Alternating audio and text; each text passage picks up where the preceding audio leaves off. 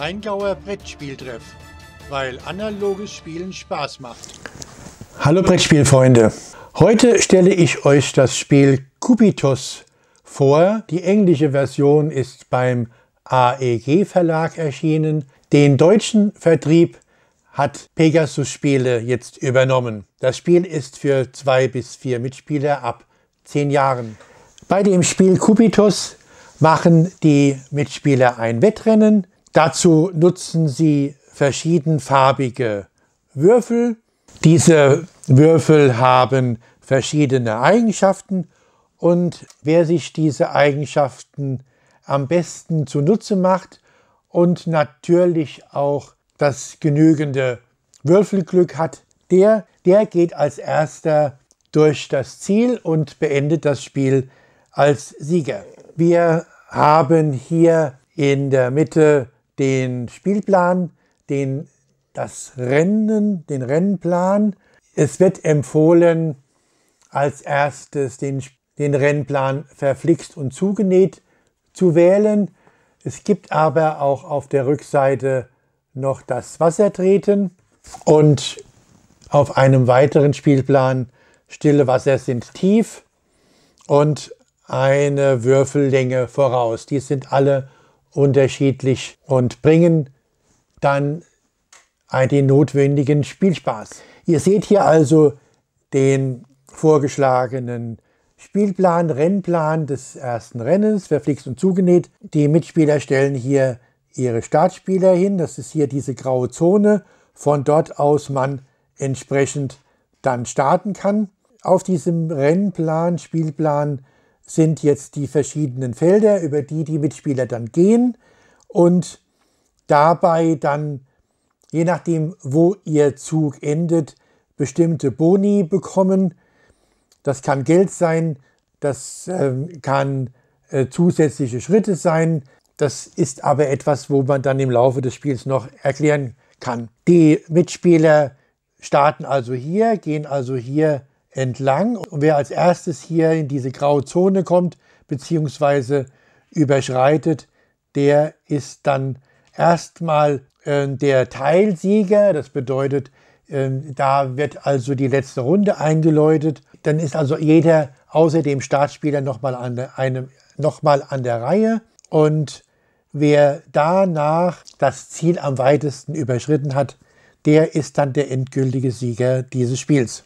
Dann hat jeder hier ein eigenes Spieltableau.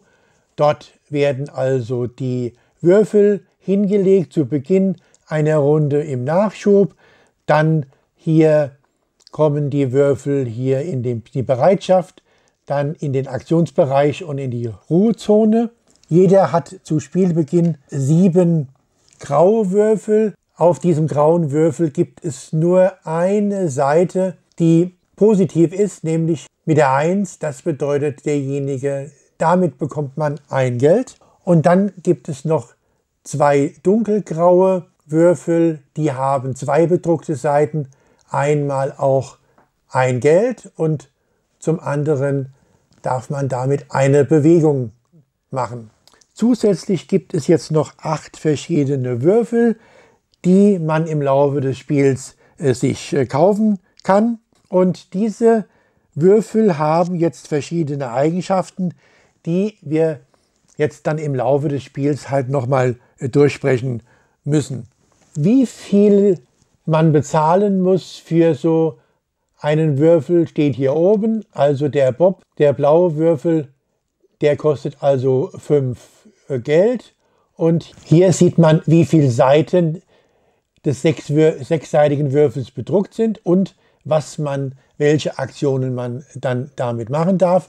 Also in, in dem Fall äh, der Bob, da darf man also äh, ein Feld weiterziehen und dieses Symbol bedeutet, man würde sofort auch nochmal zwei Felder weiterziehen dürfen. Diese acht verschiedenen Würfel, die ich jetzt hier aufgebaut habe, ist auch, sind auch ein Vorschlag für das erste Spiel, also Spielplan verflixt und zugenäht und dann das Rennen Nummer 1. wenn man jetzt äh, öfters gespielt hat, kann man dann noch solche acht Würfelsorten in, in noch zusätzlichen sechs Rennen äh, ausprobieren. Das sind alles Vorschläge, die man in den nächsten Rennen dann verwenden sollte.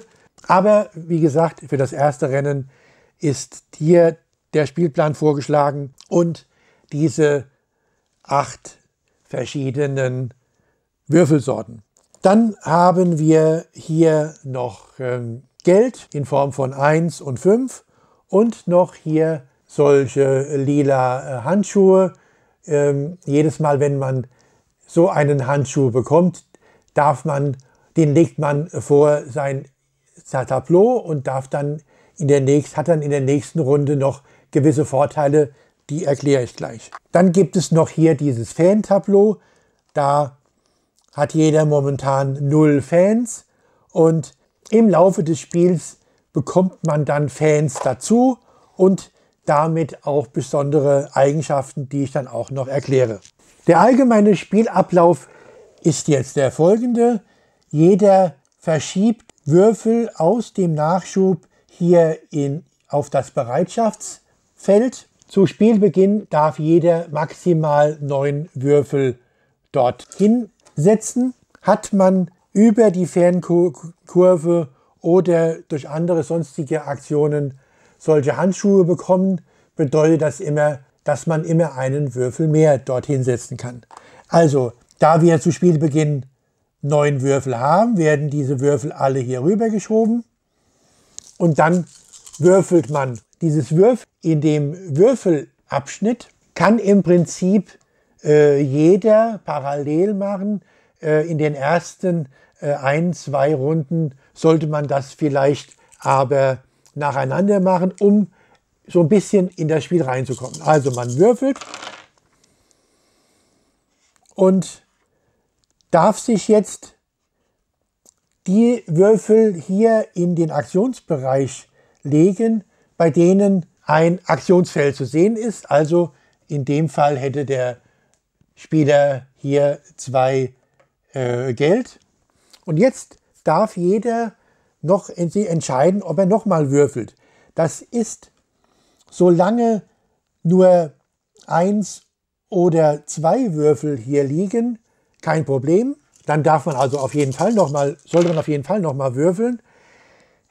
Jetzt hat der Spieler noch mal eine 1 gewürfelt. Das heißt, er hat also jetzt hier schon drei äh, aktive Würfel. Und ab jetzt beginnt der Gefahrenbereich, nennt sich das. Das heißt, jedes Mal, wenn man jetzt keine Aktionswürfel mehr würfelt, dann hat man ein Problem, nämlich insofern, dass der komplette Wurf nicht zählt. Das heißt, die Würfel aus dem Aktionsbereich kommen in die Ruhezone und der, die restlichen Würfel hier in das Bereitschaftsfeld. Wir können das ja mal, mal testen. Also jetzt, das bedeutet, er darf ein Feld nach vorne ziehen und zwar im Rennabschnitt. Wir sind ja momentan im Würfelabschnitt. Ich würfel nochmal. Jetzt kommt wieder ein Geld dazu. Zur Erinnerung, Geld benötigen wir, um hier neue Würfel uns später kaufen zu können. Der, wir Würfel probieren noch einmal. Jetzt haben wir also hier diese Situation. Es ist kein, keine Aktionsfläche zu sehen. Jetzt wäre es also so, diese vier kommen in, in, der, in den Bereitschaftsbereich und diese Würfel kommen hier in die Ruhezone. Damit ist für diesen, wäre für diesen Mitspieler die Runde zu Ende und er müsste warten, bis alle anderen diese Runde beendet haben.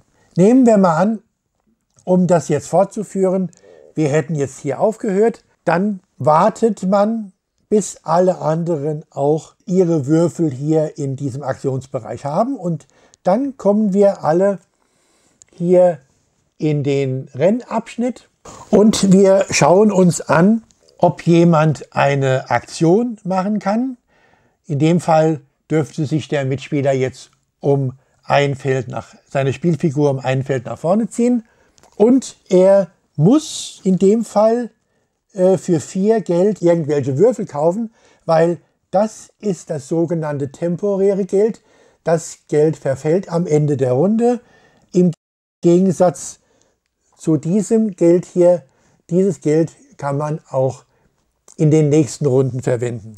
Er entscheidet sich mal hier für eine geht noch. Er bekommt den grünen Würfel und, und alle Würfel, die jetzt äh, hier in dem Aktionsbereich sind, kommen jetzt erstmal in den Ruhebereich. Damit ist die Runde dieses Spieles, Spielers beendet. Nachdem also alle das, die, die Plättchen auf den grünen Würfelabschnitt gedreht haben, beginnt eine neue Runde. Wir äh, dürfen jetzt hier die Bereitschaftsfeld wieder auffüllen auf maximal 9. Ist jetzt hier im Nachschub nichts mehr, dann kommen hier die Würfel, die im, in der Ruhezone waren, hier auf das Nachschubfeld und wir füllen dann danach hier aus dem Nachschub auf momentan 9 auf. Dazu nehmen wir natürlich auch den grünen Würfel und das sind jetzt 6 und nochmal 3 graue. Das heißt, eine, ein Würfel bleibt also im Nachschub liegen und wir würden dann also hier wieder würfeln und so weiter und so fort. Was ich noch nicht erklärt habe, ist, äh, das ist dieser Würfel, das ist ja so der äh, Startspielerwürfel. Der Würfel darf also zusätzlich noch mit gewürfelt werden und bringt dann entweder äh, eine Bewegung oder ein Geld oder zwei Geld. Der darf also mitge... Der wechselt auch von Runde zu Runde und darf dann von dem ähm, runden Startspieler dann dementsprechend genutzt werden. Ich denke mir, der allgemeine Spielablauf ist jetzt soweit klar und ich mache einfach mal ein paar äh, Runden, bei denen ich dann auch die Eigenschaften der acht verschiedenen Würfel äh, erkläre. Bevor ich mit dem kleinen Let's Play anfange, äh, noch ähm, zwei äh, Dinge zum Spielablauf und zwar ich hatte ja gesagt, wenn man im Würfelabschnitt würfelt und man hier im Aktionsbereich äh, mindestens drei Würfel hat, mit denen man was anfangen kann, dann ist man in Gefahr. Und ich hatte ja auch äh, gesagt, dass ähm, Gefahr bedeutet, wenn bei einem, wenn beim anschließenden Würfel man keine Aktionsseite äh, oben hat, dann hat man im Prinzip gelost, dann äh, muss man äh, seinen Wurf, seinen Zug äh, abbrechen.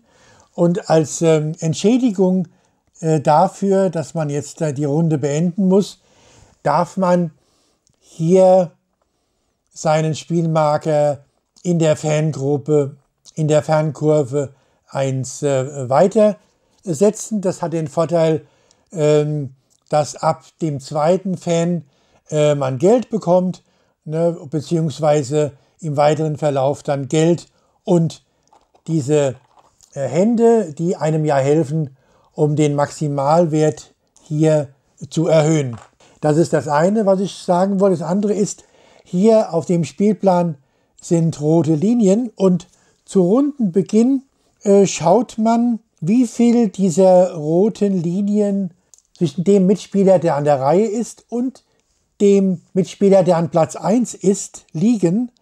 Das bedeutet, wenn also jetzt äh, Gelb zum Beispiel hier wäre und Blau hier, ich hoffe, man kann es einigermaßen erkennen, hier ist eine rote Linie und Gelb wäre an der Reihe, dann dürfte er für jede rote Linie seinen Maximalwert um 1 erhöhen, also dürfte der gelbe Linie also in seinem Zug jetzt nicht 9, sondern 10 Würfel benutzen. Blau ist der Startspieler. Wir haben ja zu Spielbeginn ja nur diese neuen Würfel, den Startwürfel, den sogenannten Nase-Vorn-Würfel, darf er mitbenutzen und er würfelt. Er hat hier einen hellgrauen Würfel mit der 1. Sonst leider nichts. Er darf ja risikolos nochmal würfeln, solange er unter 3 bleibt. Auch diesmal hat er nur eine hellgraue 1.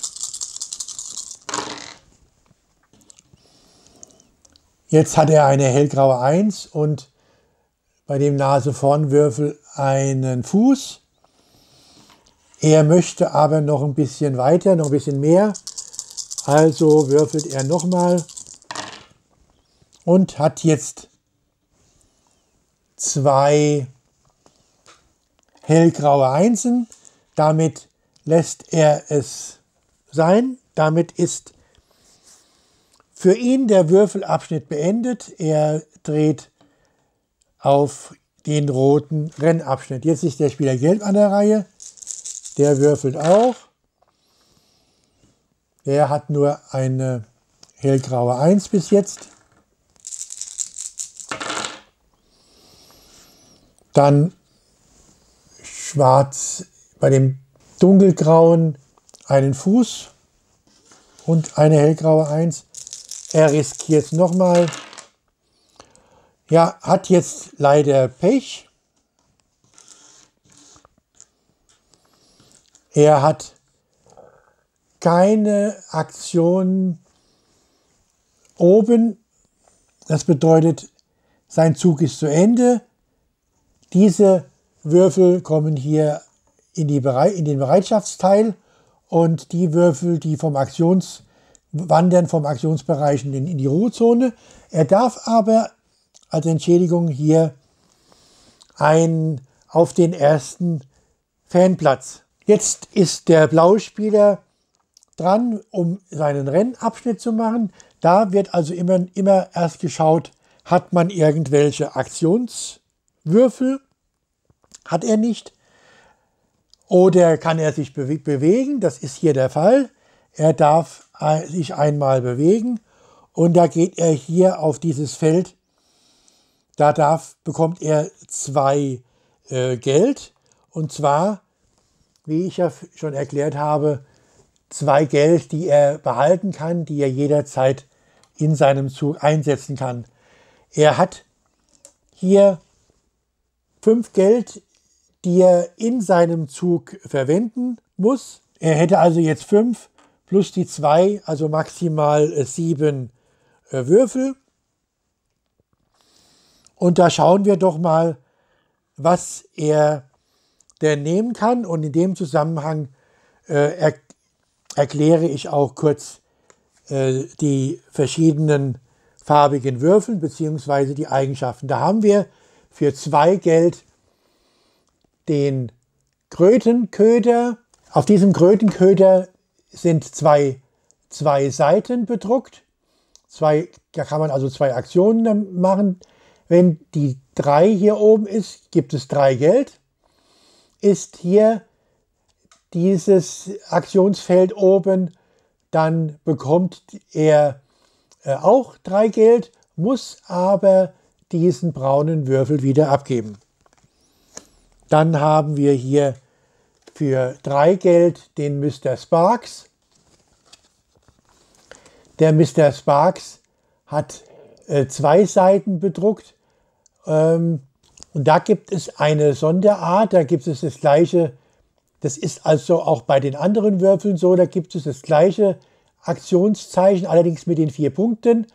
Ähm, diese Seite gilt nur, wenn die Aktion hier noch extra explizit erklärt ist. Ist da nicht, nicht explizit erklärt, äh, macht man also die normale Aktion und die ist hier, da schaut man sich an, wer in, in dieser Runde die meisten dieser Aktionswürfel hat und derjenige bekommt drei Geld und darf zweimal in dieser Runde eine Bewegung machen. Allerdings muss er dafür dann auch diesen roten Würfel abgeben. Dann gibt es hier für vier Geld die Karte Einer geht noch. Da sind drei Felder bedruckt Da ist die Wahrscheinlichkeit, dass man also eine Aktionsseite oben hat, groß, größer, sage ich jetzt mal. Äh, hier würde man eine Bewegung machen können.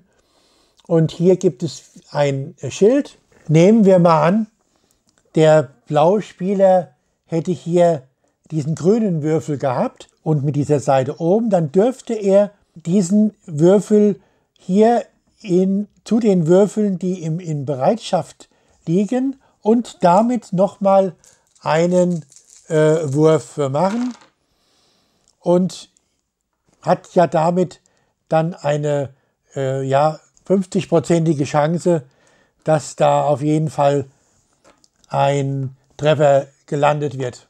Dann haben wir für 5 Geld den Tom.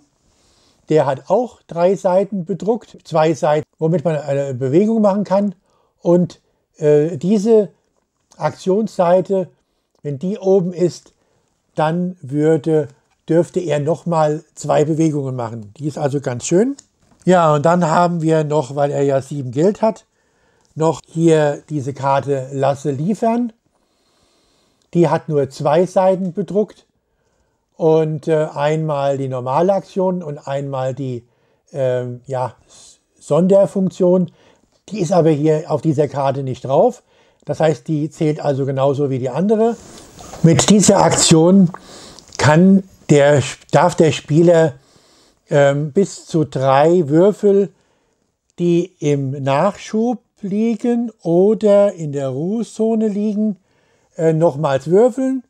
Äh, entstehen dabei, sind dabei Aktionsfelder oben, darf er die zusätzlich noch hier in den Aktionsbereich legen und auch nutzen. Ja, Spieler Blau hat äh, fünf Punkte, die er auf jeden Fall ausgeben muss. Dafür kauft er sich hier einen weißen Würfel, den Tom. Und alle Würfel, auch die gekauften, kommen jetzt hier in den Ruhebereich. Das ist sein Zug. Damit ist auch die Runde beendet, weil ja Spieler Gelb ja äh, passen musste. Jetzt ist die Runde zu Ende. Der Rundenwürfel äh, wechselt. Gelb ist also an der Reihe. Gelb hat hier sechs Würfel in dem, in dem Spielbereitmodus. Er nimmt sich die drei, die drei Würfel in der Ruhezone kommen in den Nachschub und vom Nachschub hierher die würfelt er zusammen mit dem Nase-Vorn-Würfel und hofft jetzt auf ein besseres Würfelergebnis. Er hat einen hellgrauen 1 und einen Fuß. Er darf ja jetzt noch risikofrei würfeln. Er hat diesmal ein besseres Ergebnis. Aufgrund seines Würfels, Würfelglücks macht er jetzt auch nicht mehr weiter. Die fünf Würfel kommen hier in den Bereitschaftsmodus. Damit ist äh, sein Würfelabschnitt beendet und er dreht seine Karte hier auf den Rennabschnitt. Der Blauspieler ist ja im Würfelabschnitt. Er hat hier vier, vier Würfel in Bereitschaft. Die anderen Würfel von der Ruhezone kommen hier in den Nachschub. Er darf auf 5 auffüllen. 4 hat er. 5, 6, 7, 8, 9. Das heißt, ein Würfel bleibt hier zurück. Er hat hier dreimal Geld und hier den Tom, die Tom-Aktion. Das heißt, mit dieser Aktion kann er auf jeden Fall zwei weitere Schritte gehen. Das möchte er auch. Insofern hört er auf und beendet damit seinen Würfelabschnitt. Jetzt beginnt für beide der Rennabschnitt.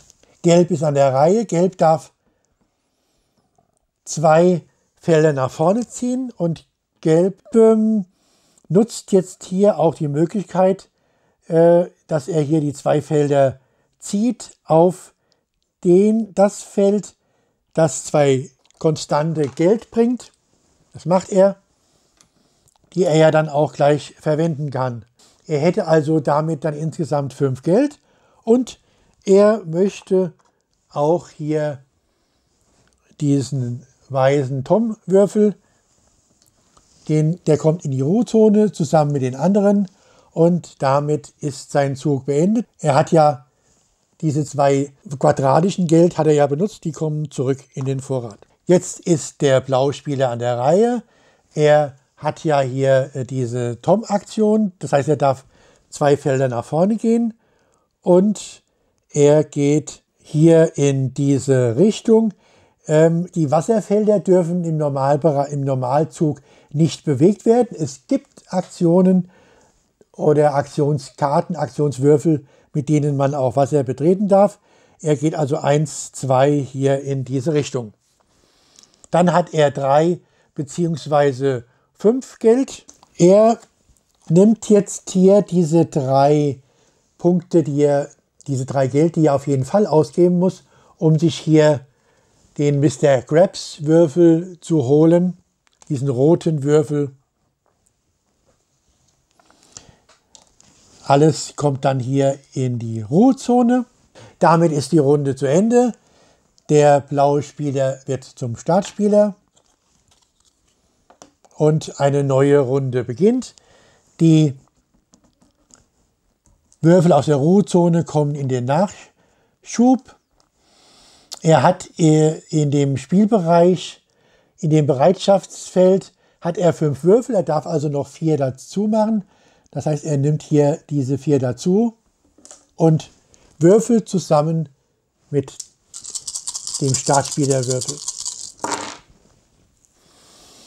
Er hat hier die Tom, und eine graue Geldseite. Er würfelt, darf er jetzt risikofrei würfeln.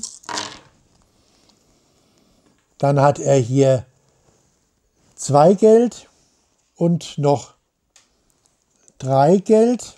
Das äh, genügt ihm. Er hört auf mit Würfeln und dreht auf den Rennabschnitt um. Gelb ist an der Reihe. Die Würfel vom Ruhe, von der Ruhezone kommen in den Nachschub. Er hat auch fünf Würfel in der Bereitschaft, darf also vier Würfel dazu tun. Das sind diese vier. Und er würfelt und hofft auf ein gutes Ergebnis.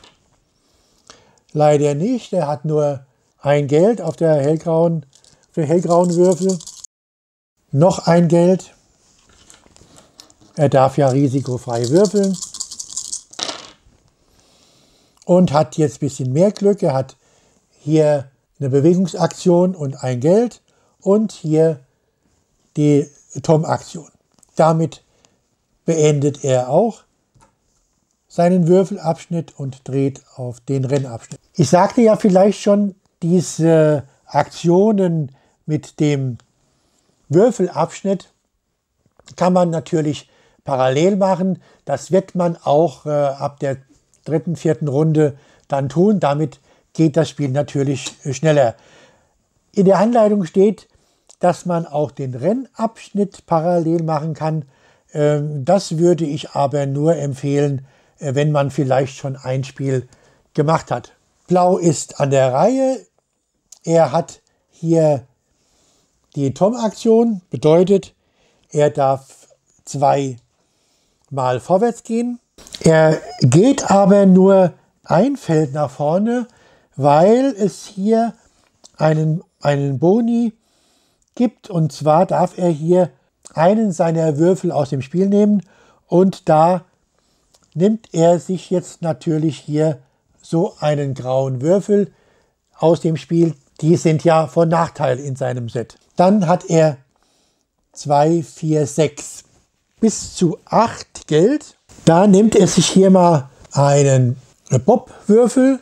Das habe ich, glaube ich, noch nicht erklärt. Mit dieser Aktion darf man nach der Bewegung schauen, ob in ein oder zwei Entfernungen irgendwelche Boni-Felder sind und die darf man dann nutzen.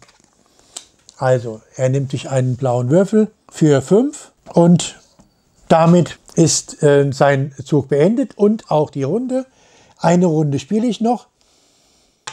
Gelb ist äh, an der Reihe. Gelb gibt seine Würfel hier aus der Ruhezone in den Nachschub. Er hat vier Würfel in der Bereitschaft.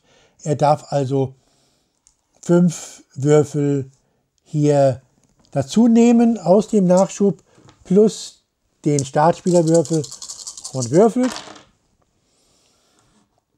Er hat jetzt hier einmal zwei und zweimal ein Geld. Er hat jetzt drei Würfel da liegen. Auch der Startspielerwürfel zählt natürlich als Würfel.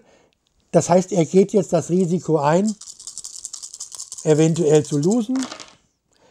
Ja, irgendwie hat der gelbe Spieler kein Glück und muss seinen Zug leider ähm, beenden. Hat leider keine Aktionsfläche oben. Jetzt ist Blau nochmal an der Reihe. Blau hat vier, Aktion, vier, vier Würfel in der Bereitschaft. Er darf also fünf, ähm, Felder, äh, fünf Würfel noch dazu tun. Das heißt 1, 2, 3, 4, 5. Und hofft jetzt mal auf ein besseres Würfelergebnis wie Gelb. Das ist so.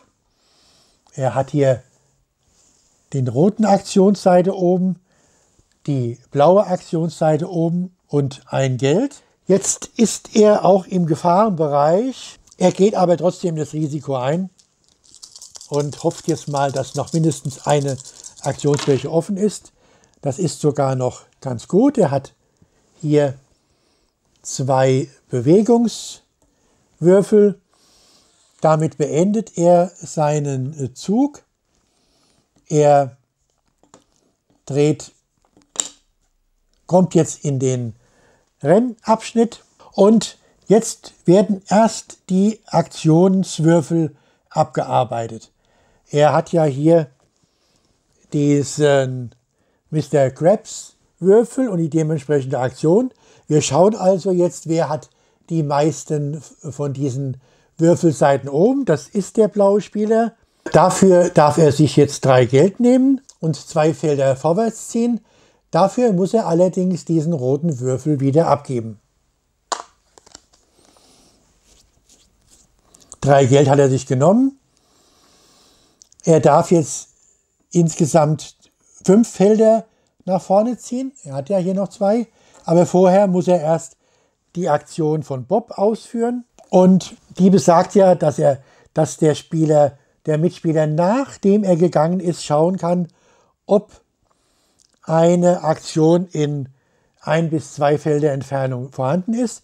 Das heißt, er geht also jetzt erstmal fünf Felder nach vorne. Er geht nur vier.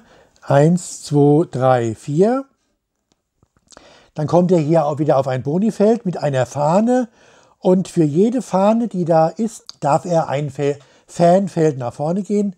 Hier auf der Fernkurve, also geht Blau hier auf die 1.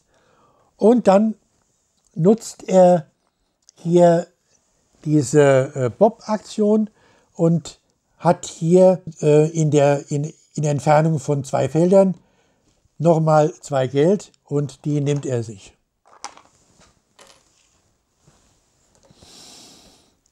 Jetzt schaut er, wie viel Geld er hat. Er hat insgesamt, hätte insgesamt acht Geld. Und für diese acht Geld nimmt er sich einen blauen Würfel, den Bob, für 5 Geld und einen Mr. Krabs, einen roten Würfel für 3 Geld. Also gibt er die 8 Geld komplett aus. Und damit ist äh, äh, sein Zug bzw. auch die Runde zu Ende. Ich denke mir zwar, dass äh, ihr den allgemeinen Spielablauf äh, jetzt mittlerweile äh, verstanden habt, das, aber ich spiele trotzdem nochmal eine Runde. Rot ist der Startspieler, er nimmt seine Würfel aus der Ruhezone hier in den Nachschub. Er hat vier Würfel in der Bereitschaft, das heißt, er darf fünf Würfel äh, dazu holen. Das heißt, er nimmt diese zwei blauen, den schwarzen, den roten und den weißen Würfel dazu. Sind insgesamt neun plus den Startspielerwürfel und würfelt. Jetzt schauen wir doch mal, ob diese schönen Würfel was äh, gebracht haben. Er hat hier bei dem weißen Würfel einen, einen Fuß und bei dem blauen Würfel zwei Geld und bei dem grauen ein Geld. Er würfelt weiter. Er ist sich natürlich bewusst, dass er mit den drei Würfeln in der Gefahrenzone ist. Das ist aber nicht so schlimm. Er hat hier den roten Würfel auf der richtigen Seite, bei dem dunkelgrauen ein Fuß und bei dem hellgrauen ein Geld. Damit belässt er es und ist damit im Rennabschnitt. Gelb hat alle, fast alle Würfel in der Ruhezone. Er, ähm, er nimmt sich neun Stück und würfelt die.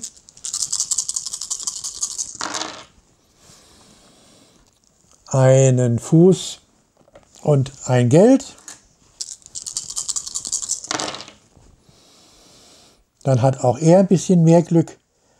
Er hatte bei dem weißen Würfel die Tom-Aktion und nochmal zwei Geld. Dabei belässt er es und er geht auch in den Rennabschnitt. Rot ist im Rennabschnitt. Jetzt betrachten wir wieder die Aktionswürfel. Er hat wieder hier äh, diesen roten Würfel. Er ist der Einzigste in dieser Runde mit dem roten Würfel, darf sich also drei Geld nehmen.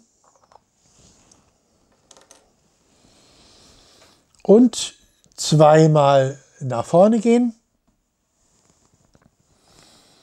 Plus die zwei. Das heißt, er darf vier Felder nach vorne gehen.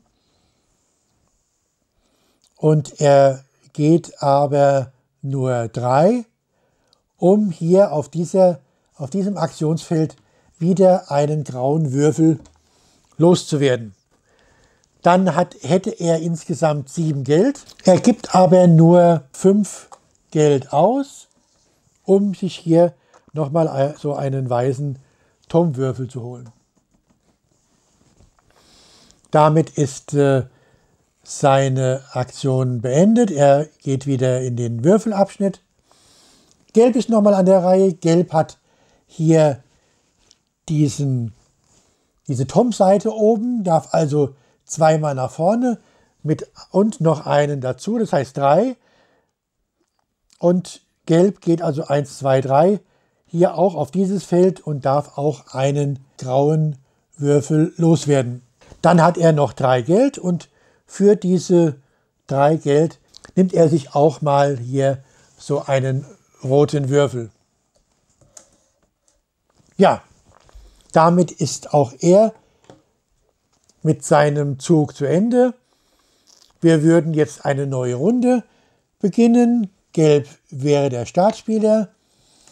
Er würde hier seine Würfel von der Ruhezone hier in den Nachschub geben, könnte jetzt hier auf, füllt jetzt hier auf 9 auf, und zwar 4, 5.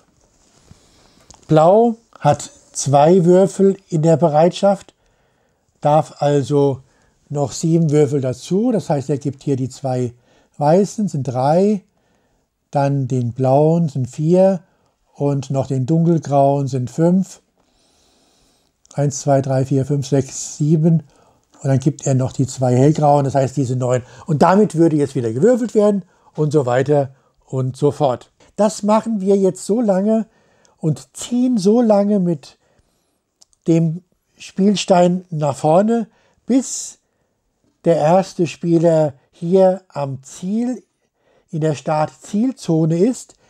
Dann wird die angefangene Runde zu Ende gespielt und wer danach am weitesten vorne steht, beziehungsweise wenn derjenige der einzigste bleibt, der im Startzielbereich ist, hat derjenige natürlich gewonnen. Kommt aber noch jemand zusätzlich in den Startzielbereich oder darüber hinaus, dann gewinnt derjenige, der dann am weitesten vorne steht. Ich denke, dass der allgemeine Spielablauf äh, soweit okay ist. Die Eigenschaften der äh, Würfel und auch die Eigenschaften der äh, anderen äh, Sets sind im Regelheft ähm, eigentlich ganz gut erklärt. Ich hoffe mal, dass ich alles ähm, ja, regelkonform äh, euch rübergebracht habe. Das ist das Spiel Cubitus vom AEG Verlag im deutschen Vertrieb bei Pegasus Spiele für zwei bis vier Mitspieler ab zehn Jahren. Viel Spaß!